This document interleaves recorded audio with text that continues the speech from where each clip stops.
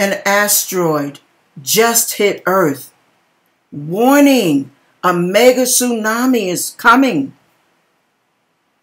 That is the title of a prophetic dream that one of my viewers, the name, their code name is Crafted Enderman. They are the one that had this dream. And I am going to tell you how his dream went. Okay? Here we go. I was riding along with Grandma and Grandpa. After school, they always come and pick me up.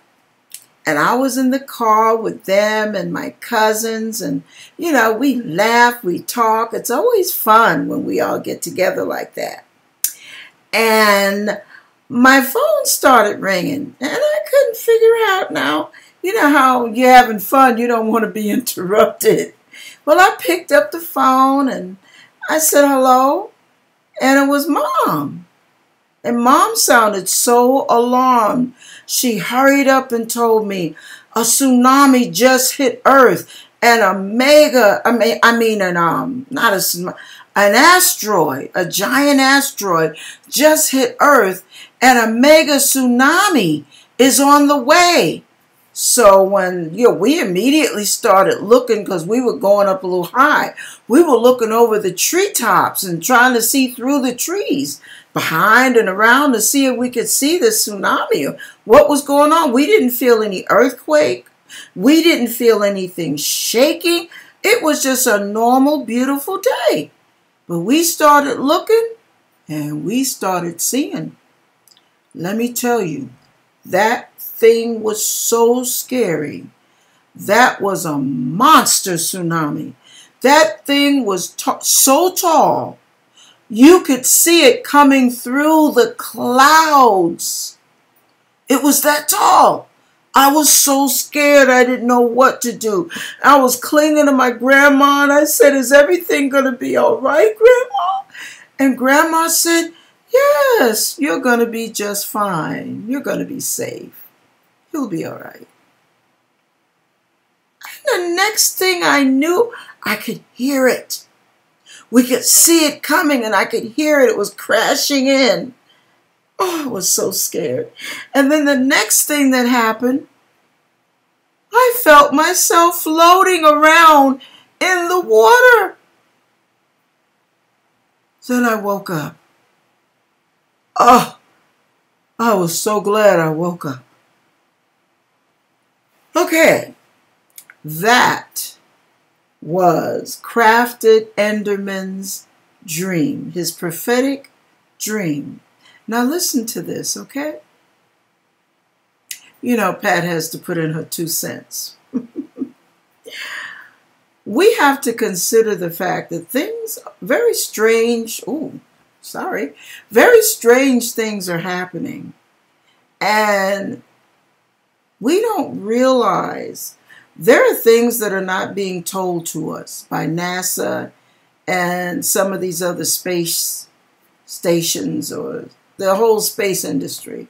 They're not telling us what's really happening. And since there are so many strange things happening in the sky, strange things happening around the sun, if you have the right kind of filter, you could actually see an extra glow behind the sun, next to the sun, in front. I don't know. But I'm hoping that's not a giant asteroid coming because it looks like a whole planet. Okay, anyway, we need to pray, you guys. I know it seems like every time I tell one of these, I always say we need to pray.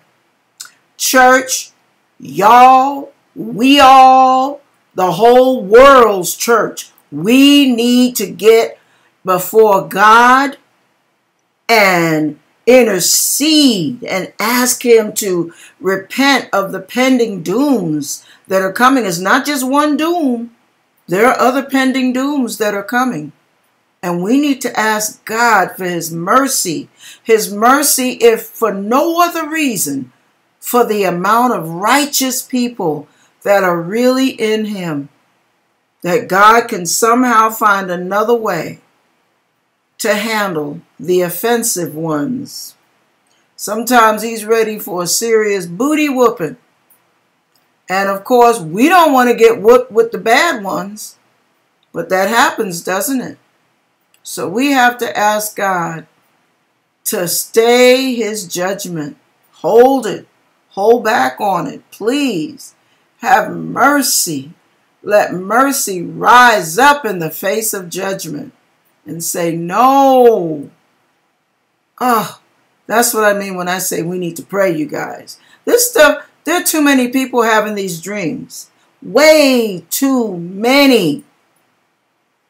And it's not mass hysteria. If it was mass hysteria, the roads would be full and people would be taken off to the mountains.